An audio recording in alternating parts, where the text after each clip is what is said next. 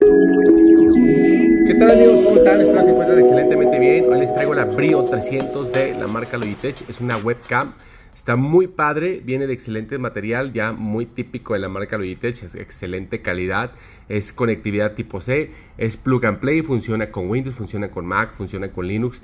Este, no es una cámara espectacular, no es una cámara que te ofrezca unas variantes muy extremas a lo común es de 30 megapíxeles, es de 2 megapíxeles, 30 frames por segundo y de 1080p, o sea, es Full HD.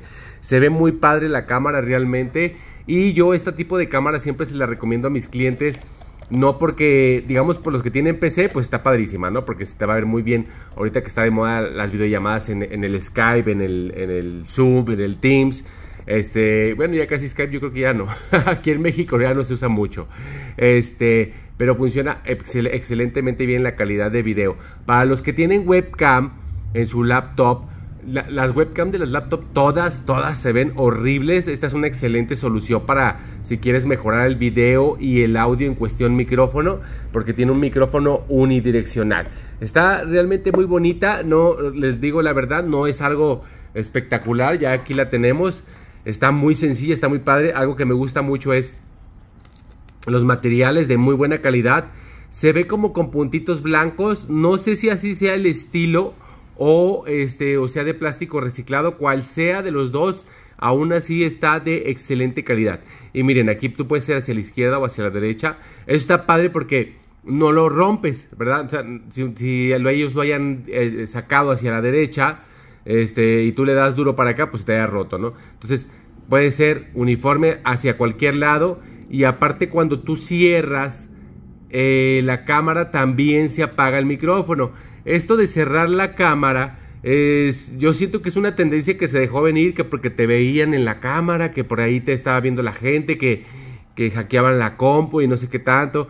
Yo sinceramente no, no sé mucho de eso, ¿verdad? En sí hasta les digo a mis clientes, ¿habrá gente con el tiempo suficiente de estar viendo en cámara a las demás personas?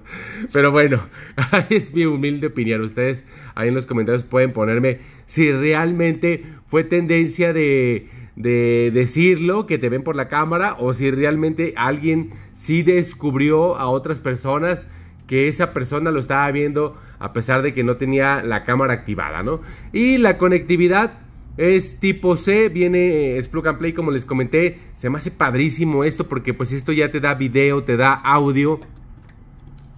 Aquí tú puedes poner, es un metro ochenta, aparte está larguísimo. Eso significa que si tienes PC pues no vas a tener ningún problema. La laptop pues muchísimo menos.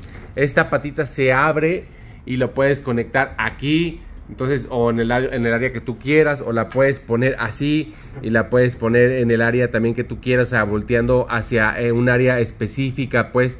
A veces, a veces la webcam no nomás precisamente es para videollamadas, sino también para mostrar algún producto o lo que estás haciendo, este, o hasta para hacer unboxings también funciona. Y esta cámara pues realmente se ve muy muy bonita, está muy chiquita, está muy práctica, vean la comparación de mi mano, la puedes portar eh, parece un conito. No le encuentro ninguna falla. No es una cámara espectacular. No es una cámara. Eh, conocemos cámaras de Logitech un poquito más profesionales y hasta 4K y demás. Pero es una excelente solución para si tu webcam se ve fea o no se, no se ve tan padre como tú quieres. O pues si tienes una PC y no quieres gastar mucho dinero, te puedes comprar esta webcam, ronda sobre los de 900 a los 1100 pesos, 1200 pesos mexicanos, dependiendo de las ofertas que encuentres. Y este y pues es una excelente solución para tu PC y que tengas una webcam. La Brio 300 de la marca Logitech. Bueno amigos, espero se la sigan pasando excelentemente bien. Saludos y hasta la próxima.